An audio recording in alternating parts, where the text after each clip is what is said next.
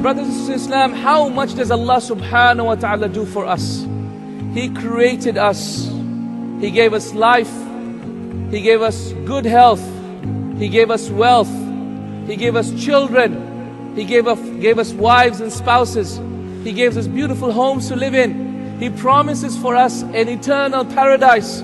He will elevate our status and let us look at His face on the day of judgment. How does Allah subhanahu wa ta'ala love us so much? Is shown by the fact that even when we disobey Him, He still feeds us. He still clothes us. He still lets us breathe by Allah. He still provides for us and nourishes us and sustains us.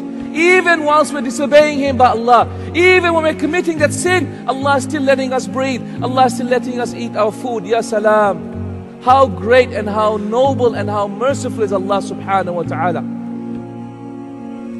How is it so that Abu Bakr, as the Emir, as the head of a state, he would travel every day after Fajr to a blind elderly woman's house and clean her house, and prepare her children, tend to her animals, and yet she didn't even, she didn't even know who he, who he was, who this man was. What about Umar al-Khattab radiallahu anhu? What about him? He was on his way to kill the Prophet ﷺ, to kill the Prophet ﷺ, and instead he accepted Islam. And his love for Allah Azza wa and his deen was so great that while all the other Muslims, while all the other Muslims were hiding their Islam, he was ready to proclaim his Islam. What about Uthman ibn Affan radiallahu anhu ardah? What about him when he was asked to give? He, when he gave, my dear brothers and sisters, he gave from the best of what we had. Uthman ibn Affan, he gave the best of what he had in all of what he had, or as much as he could. Ali ibn Abi Talib anhu. The Sahaba said that they left him after Isha in ruku' and they came before Fajr and they found him in ruku' except there was one difference. There was one difference. That his beard was soaked.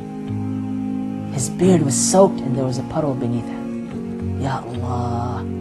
Ya Allah. But by Allah, you are special. You are special. He created you and you're more valuable to Allah subhanahu wa ta'ala than the Kaaba. Wallahi, the scholars of Islam say, the tears of a believer are more precious than the Kaaba.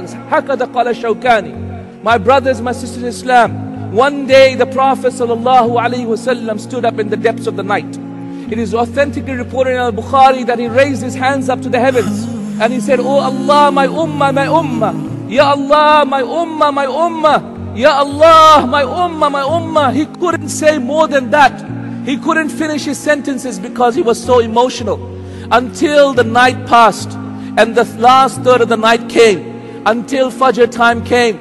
And at that point, Jibreel alayhi salatu wasalam came down and said, Ya Muhammad, Ya Muhammad sallallahu alayhi wasallam, Allah has sent me and said, Ya Muhammad, your Lord will not disappoint you regarding your ummah. Your Lord will not disappoint you regarding your ummah. The question is, brothers and sisters, Islam, are we going to disappoint our Prophet sallallahu